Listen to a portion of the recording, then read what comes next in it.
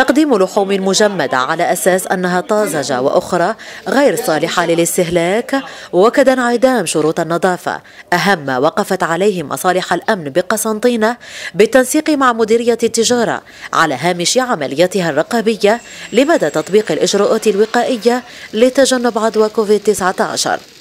الوقوف على عديد المخالفات لا سيما منها ما يتعلق بعدم احترام التباعد الجسدي بالإضافة أيضا عرضيا يعني هو العمل كان اساسه العمل على مراقبة إجراءات الوقايه وتطبيقها لكن خلال هذا العمل وقفنا على بعض المخالفات المتعلقة بعدم احترام شروط الصحة والنظافة لا سيما منها ما تم اتلافه وكذا غلق بعض المحلات الخاصة بالإطعام. اذا العملية هذه تدخل يعني في إطار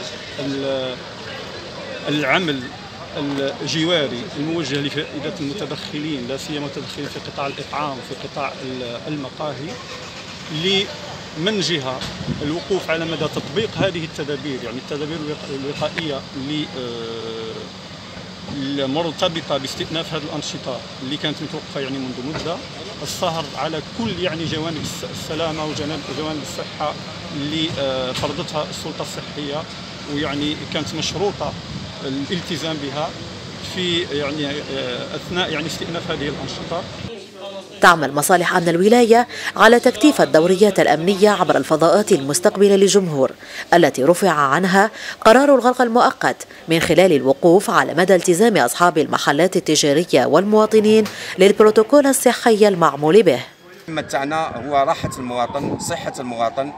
كما أن أمن ولاية قسنطينة يعتمد أساسا على العمل باحترافية في إطار الشرطة الجوارية مع الشركاء الميدانيين